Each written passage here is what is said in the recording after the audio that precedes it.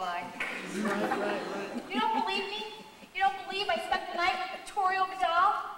You swear I swear. on your mother's life. On my mother's life. Call up and find out how her mother is. Look, he gave me his mementos from our evening. A hat, a cane, and even an autographed picture.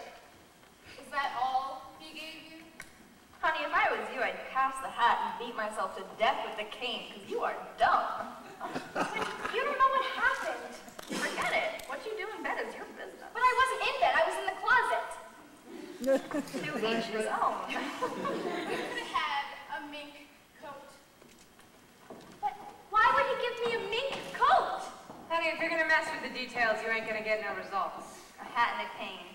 If it was me, I would have walked out of there with my own beauty parlor. Now you'll never get out. You're stuck. Stuck just like the rest of us.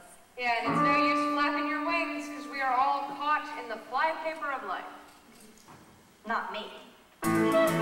What'd you say? I said not me. I'm not going to spend next 40 years in the Fandango ballroom. I'm not going to become the world's first little old taxi dancer. I'm out. Out. What a beautiful word.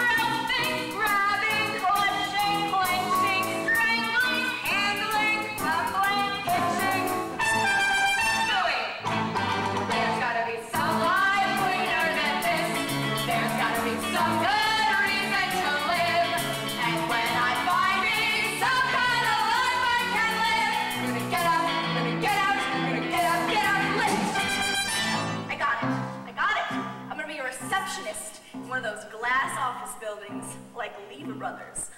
No, Seagrams. Nine to five. I'm gonna have my very own typewriter, Underwood, and water coolers, and office parties, and coffee breaks. When I sit at my desk on the 41st floor in my copy of a copy of a copy of Dior, I'll receive big tycoons and I'll point to a chair. I'll say, honey,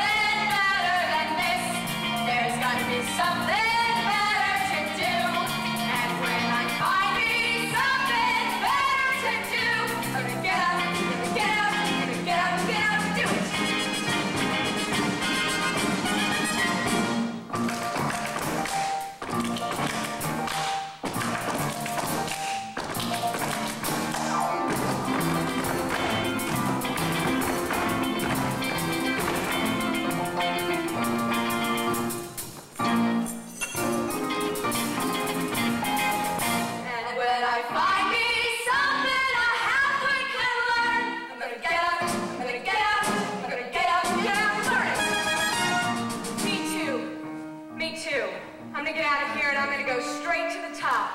I'm gonna be a hat check girl at Sardi's East. I'm gonna wear one of them little black numbers that's cut up to here and down to there. All those hats coming in, derbies, oh, and Homburgs. Oh, and that cute little checked one with the skinny brim and the feather. Check your hat, sir. Check your coat, sir. Check your vest, sir. Check your pants.